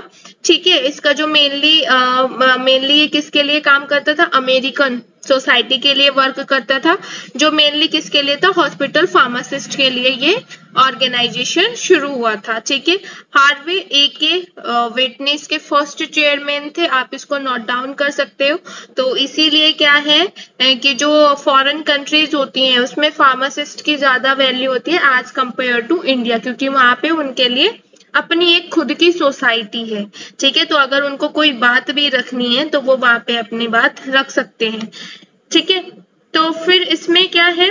जो हमारा ए एस एच पी है, ठीक है मेनली जो ये क्या है, ये एक फार्मासिस्ट की वॉइस है, यानी कि इसमें बहुत सारे फार्मासिस्ट हैं तो डेफिनेटली सी बात है, ये फार्मासिस्ट की कलेक्टिव वॉइस है, ठीक है, जिसमें पेशेंट्स की केयर के प्रोवाइड के लिए हॉस्पिटल्स में ये उनके लिए है जो हॉस्पिटल्स में पेशेंट्स को केयर प्रोवाइड करते हैं हेल्दी सिस्टम में काम करते हैं एम्बुलेटरी क्लिनिक में काम करते हैं, या फिर किसी अदर हेल्थ केयर सेटिंग में काम करते हैं। यानी कि जो फार्मासिस्ट हैं, ठीक है, चाहे वो किसी भी फ़ील्ड में काम करते हैं, ये उनकी कलेक्टिव वॉइस है, जिसको हमने क्या बोला American society of hospital pharmacist ठीक है, लगभग इस ऑर्गेनाइजेशन में लगभग साठ हज़ार से ज़्यादा मेंबर काम करते हैं, ठीक है? मतलब इसमें फार्मासिस्ट इंक्लूड हैं। वो स्टूडेंट फार्मासिस्ट भी हो सकते हैं कंप्लीट फार्मासिस्ट भी हो सकते हैं, या फिर फार्मेसी टेक्नीशियंस भी हो सकते हैं। ठीक है तो इतने मेंबर इसमें हैं। उसके बाद इसका मिशन क्या है? ए एस एच पी यानी कि American society of hospital pharmacy का जो मिशन है, वो यही है कि फार्मासिस्ट की हेल्प करना जैसे कि, जिससे कि वो क्या कर सके, लोगों की ज़्यादा से ज़्यादा हेल्थ आउटकम को अच्छा बना सके ऑप्टिमल कर सके, ठीक है इम्प्रूव कर सके, ठीक है, जितने भी ए एस एच पी के जितने भी मेंबर हैं, उनका जो मेन मिशन रहता है, वो रहता है सपोर्ट करने का ठीक है प्रोफेशनल प्रैक्टिस फार्मासिस्ट हॉस्पिटल को सपोर्ट करने का हेल्दी सिस्टम को सपोर्ट करने का केयर क्लीन क्लिनिक को सपोर्ट करने का या फिर अदर जितना भी है ठीक है सारी की सारी जितनी भी मेडिकल एक्टिविटी है उनको सपोर्ट करने का इसका आ, एम रहता है इसका जो मिशन है वो यही रहता है कि जितने ज़्यादा से ज़्यादा फार्मासिस्ट हैं वो लोगों की ज़्यादा से ज़्यादा हेल्प करें ठीक है इसीलिए क्या है कि ये क्या करता है गुड फार्मेसी प्रैक्टिस की सलाह देता है, जिसमें आपको सारी मेडिसिन की नॉलेज होनी चाहिए प्रॉपर नॉलेज होनी चाहिए, जिसकी वजह से आप ज़्यादा से ज़्यादा लोगों की केयर कर सकें। नेक्स्ट हमारा आता है introduction to NABH accreditation accreditation का मतलब होता है मान्यता। ठीक है, जैसे सपोज़ करो आप मार्केट से अगर कोई प्रोडक्ट खरीद के लेके आते हो और अगर वो आई एस आई मार्क्स है तो आपको लगता है कि इसकी क्वालिटी अच्छी होगी और होती भी है। ठीक है तो वो क्या है? आई एस आई मान्यता प्राप्त है उसको। ऐसे ही सेम जितने भी हमारे हॉस्पिटल्स होते हैं और हेल्थ केयर प्रोवाइडर्स होते हैं। अगर वो NABH अप्रूव है, उनके पास एनएबीएच की मान्यता है तो वो उनकी जो क्वालिटी है, वो अच्छी होती है। ठीक है तो एनएबीएच की जो फुल फॉर्म होती है, वो है national accreditation board for hospitals mainly ये हॉस्पिटल और हेल्थ केयर प्रोवाइडर्स के लिए होती है। ठीक है, इसमें क्या होती है, उनकी क्वालिटी का पता चलता है। क्वालिटी काउंसलिंग ऑफ़ इंडिया यानी कि क्यूसीआई ये मेनली जो स्टेबलाइज हुई थी ठीक है, ये जो प्रोग्राम है, जो जिसको हमने एनएबीएच बोला है, ये जो स्टेबलाइज्ड हुआ था, ये हेल्थ केयर ऑर्गेनाइजेशन के लिए स्टेबलाइज्ड हुआ था, उसको इम्प्रूव करने के लिए स्टेबलाइज किया गया था। ठीक है इस पर्टिकुलर बोर्ड में, यानी कि नेशनल एक्रेडिटेशन बोर्ड में क्या होते हैं बहुत सारे स्टेक होल्डर सपोर्ट करते हैं। स्टेक होल्डर का मतलब क्या है? जैसे कि इंडस्ट्री हो गई इंडस्ट्री में जो लोग काम करते हैं कंज्यूमर इसको सपोर्ट करते हैं गवर्नमेंट इसको सपोर्ट करती है, जिसकी वजह से ये अपना जो अपना जो ऑपरेशन है, वो ऑटोनोमी तरीके से रेगुलेट कर सके, अपने फ़ंक्शंस को रेगुलेट कर सके। मेनली इसका पर्पज क्या होता है? जो पेशेंट्स होते हैं, उनको रिस्पेक्ट के थ्रू ट्रीट किया जाए डिग्निटी के थ्रू ट्रीट किया जाए। ठीक है, ये इसका क्या होता है मेन पर्पज होता है ऑल टाइम ठीक है। डेफिनेटली सी बात है सभी जो जितने भी पेशेंट्स होते हैं वो रिस्पेक्टफुल उनका ट्रीटमेंट किया जाए। रिस्पेक्टफुल का मतलब यहाँ पे क्या होता है कि जैसे पेशेंट्स है तो पेशेंट्स जब हॉस्पिटल्स में जाते हैं तो वो क्या करते हैं कि एक हाइजीन वहाँ पे होना चाहिए प्रॉपर ठीक है प्रॉपर हाइजीन का ध्यान हमें रखना है। तो डेफिनेटली uh, सी बात है कि उनके अकॉर्डिंग वहाँ पे मेंटेन होना चाहिए उनकी डिग्निटी रिस्पेक्ट वहाँ पे मेंटेन होनी चाहिए। उसके बाद patients are involve in care planning and decision making ठीक है जो पेशेंट्स होते हैं वो क्या होना चाहिए? उनके जो केयर uh, टेकर है वो पहले से प्री प्लान होना चाहिए डिसीज़न मेकिंग होना चाहिए। Patients are treated by qualified and train staff definitely सी बात है अगर वहाँ पे पेशेंट्स आते हैं ठीक है तो उन उनका क्या है? उनको क्वालिफाइड और ट्रेन स्टाफ ही उनको ठीक करे। ऐसा नहीं है कि आपने किसी के भी हाथ में किसी भी पेशेंट को दे दिया। उसके बाद feedback form patient is enough and complain if any are address यानी कि uh, आपने देखा भी होगा कि सुझाव बॉक्स लगे रहते हैं हॉस्पिटल्स में या फिर कंप्लेन बॉक्स लगे रहते हैं कि अगर किसी पेशेंट्स को कोई कंप्लेन है तो आप वहाँ पे वो लेटर डाल सकते हैं, उसमें आपका नाम मेंशन नहीं होता है। तो अगर ऐसा कोई पेशेंट से करता है तो आपका काम है, जितने भी हेल्थ केयर प्रोवाइडर हैं कि उसको एड्रेस करें और उसकी, उनकी प्रॉब्लम को सॉल्व करें, उनकी कंप्लेन को देखें। ठीक है? Transparency in billing and availability of traffic list. ठीक है ट्रांसपेरेंसी का क्या मतलब है यहाँ पे?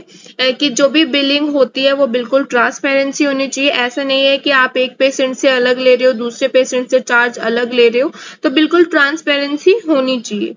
Continuous monitoring of its services for improvement ठीक है, आपकी जो सर्विसेज़ हैं वो कंटिन्यूस मॉनिटर होना चाहिए पेशेंट्स की कंडीशंस और इम्प्रूव होना चाहिए। उसके बाद commitment to prevent adverse event that may occur अगर कोई एडवर्स इवेंट अकर होता है तो आपका काम है कि आप उससे, उस पेशेंट्स को बचाएँ। नेक्स्ट इसमें आते हैं रोल ऑफ़ फार्मासिस्ट तो सबसे पहले आते हैं रिव्यू प्रिस्क्रिप्शन रिव्यू प्रिस्क्रिप्शन का मतलब यहाँ पे क्या है कि सबसे पहले जो डॉक्टर प्रिस्क्रिप्शन लिखते हैं, आपको उसको रिव्यू करना है, उसके बाद आपको पेशेंट को मेडिसिन देनी है। Dispense prescription and non prescription medicine दोनों में रोल होता है फार्मासिस्ट का। ठीक है डिस्पेंस का मतलब होता है कितना डोज में देना है, किस रूट से आपको देना है। वो सारी की सारी चीज़ें इसमें मैंशन होती है। Provide patient counselling and education में फार्मासिस्ट का रोल होता है, क्योंकि जो भी पेशेंट्स की क्वेरीज होती है, वो सारी की सारी मेडिसिन से रिलेटेड जितनी भी क्वेरीज होती हैं, वो फार्मासिस्ट ही प्रोवाइड कराता है। Hospital and community pharmacy management में फार्मासिस्ट का रोल होता है। ठीक है? इंटर इंटरप्रेनरशिप और लीडरशिप में भी फार्मासिस्ट का रोल होता है। Deliver for primary and preventing health care में भी फार्मासिस्ट का रोल होता है। ठीक है? Professional ethical and legal practice में भी फार्मेसी का रोल होता है फार्मासिस्ट का।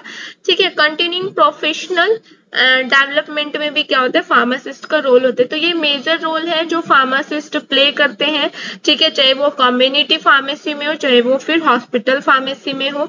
ठीक है, जितना भी ड्रग से रिलेटेड जितना भी मेडिसिन से रिलेटेड जितना ज़्यादा से ज़्यादा फार्मासिस्ट को नॉलेज होगी, उतना उसके लिए बेनिफिट होगा। नेक्स्ट और लास्ट में हम बात करने वाले हैं कुछ इंपॉर्टेंट क्वेश्चन की, जो कि इस टॉपिक से रिलेटेड है इंपॉर्टेंट क्वेश्चन फ़र्स्ट क्वेश्चन है define hospital pharmacy and discuss the objective of hospital pharmacy services.